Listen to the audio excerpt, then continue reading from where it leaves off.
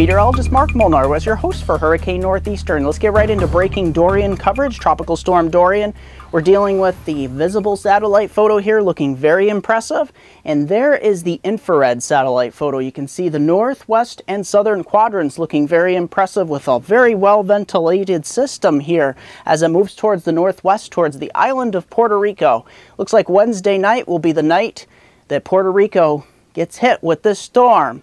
There's the satellite photo for the rest of your tropics, dealing with some problems out here in the Gulf of Mexico as well as tropical waves out here in the Atlantic. But there it is, the particulars on Tropical Storm Dorian as it moves towards the island of Puerto Rico, looking to take a direct hit on particularly Wednesday night.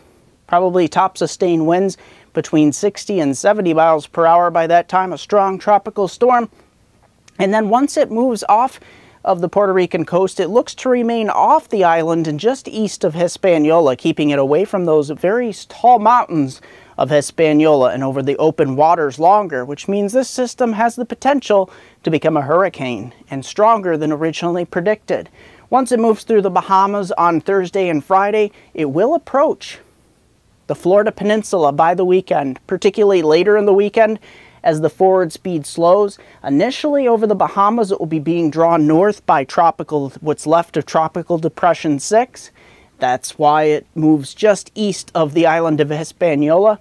But by days 5 and 6 and even 7, we'll have the high pressure from Bermuda building in just to the east of it, pushing the system and bending it back to the left towards Florida. So that's where we have the problems anywhere from the Florida Keys, Miami, all the way up the coast to Jacksonville, and even Georgia coastline residents should be watching the storm.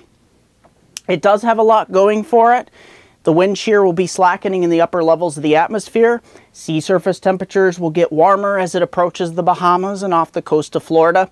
So we will be looking at a system that has the potential to develop into a hurricane. So a lot of the models are slowly starting to push their intensity scales upward here. So there you have it, Tropical Storm Dorian. We will continue to watch it here, and this system has a lot going for it. So Tropical Depression number six, racing off towards the northeast. It will impact Newfoundland and northeastern portion of Canada with some wind and rain. It will be becoming extra tropical by then. Probably top sustained winds by then will be 50 to 60 miles per hour.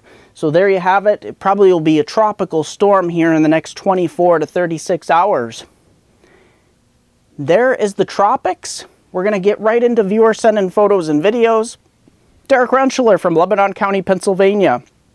August 22nd, last Thursday, dealing with strong thunderstorms in the area. Wind gusts up to 85 miles per hour, he said, as these storms move through. Look at that ominous time lapse here as those thunderstorms were very potent across the Lebanon County area just northeast of the Harrisburg region. So very nice capture here. Derek Rentschler from Lebanon County, Pennsylvania. Very stormy skies. Been dealing with a lot of stormy weather, severe weather outbreaks across the northeast. And John from the Islip, New York area, take a look at these thunderstorms that produced some damage. He said there was some tornado damage. You can see a tree down here in the background. So there you have it, out on Long Island, damage to behold. So we're getting right into precipitation totals. Your eyes are pretty much drawn to the Florida area. Four to as much as eight inches of rain as later on in the forecast period, we will get Dorian, tropical storm, probably hurricane by that time, approaching the Florida coastline.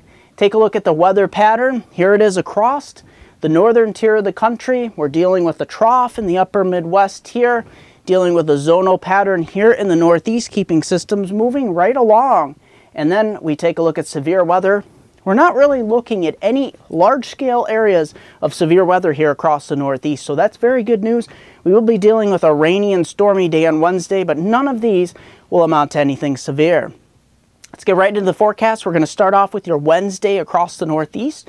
Take a look at this. Not too bad as far as temperatures are concerned, but as far as rain, the stormiest weather will be right in the I-81 corridor from Syracuse, Binghamton down to Wilkes-Barre, Scranton, and Harrisburg. Showers and thunderstorms pretty much lining up throughout the day. None of these will be severe. It will be just a generalized rainfall with some embedded thunderstorms. Temperatures getting up, held down into the lower to mid 70s in most areas. That front will be on the move for Thursday, scouring out and pushing all of that precipitation to the east. And we start to clear it out a bit here. Temperatures heading up towards 70, 75 in many areas, maybe cracking 80 here in the lower Susquehanna River Valley to the lower Allegheny River Valley. Into your Friday across the northeast, not too bad. We start to really kick in some sunshine here. Temperatures will start to warm here on the backside of high pressure creeping up into the 80s across areas of Pennsylvania, 70s mostly across upstate New York, into New England, over to the Boston area, up to Burlington, Albany, and Syracuse. And then onto your Saturday here across the Northeast, we have a little shot of some cooler air that starts to propagate its way in. So some areas will be holding into the upper 60s and lower 70s. We'll even get a little bit of a shot of some cooler mid to upper 70 air here across portions of Pennsylvania, New Jersey, and spreading its way into portions of the New England area. But we're going to continue to get a very nice day here across the Northeast to start your Labor Day weekend. Take a look at my five-day outlook for my hometown viewers, the Binghamton, Scranton's Upper Susquehanna region of upstate New York and Northeast Pennsylvania, all points in between. Look at this. Starting off with Wednesday, rain and thunderstorms likely. Mostly an all-day event, 90% chance. Most areas, temperatures getting up towards the lower to mid 70s into your Thursday. You will get up quarter to a half an inch, maybe three quarters of an inch out of this Wednesday into Thursday. That front moves through Wednesday night, scours out all those clouds, sunny skies, late day, temperatures into the 70s as well as into Friday. Looking brilliant sunshine. Saturday, get a little slight cool down here into the low 70s. Overnight lows looking very good for sleeping weather, even upper 40s, low 50s into the normally colder valleys. And then into your Sunday, we do get a chance, probably only a 20% chance of an afternoon shower. Temperatures heading up towards the mid to upper 70s, looking very nice for your Labor Day weekend. Don't forget to like me on Facebook, MeteoMark, subscribe to me on YouTube at MeteoMark.com, MeteoMark.com, WeatherNortheastern.com, and Weather Northeastern on Facebook as well, as well as Hurricane Northeastern. Thanks for joining me for this edition of Hurricane Northeastern and Weather Northeastern.